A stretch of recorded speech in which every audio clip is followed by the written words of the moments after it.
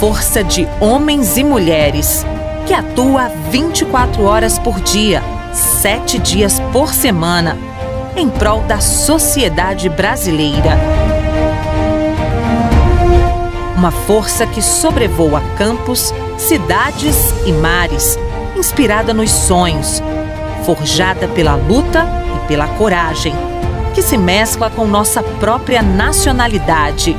Uma força de novos desafios,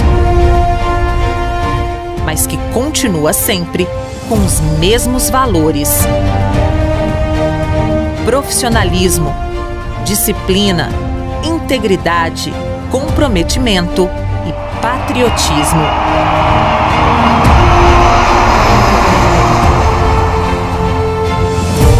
Uma força de tecnologia.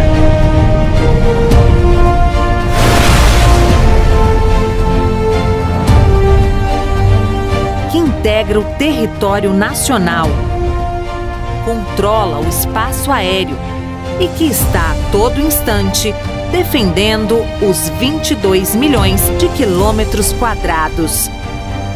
Essa é a minha, a sua, a nossa Força Aérea Brasileira.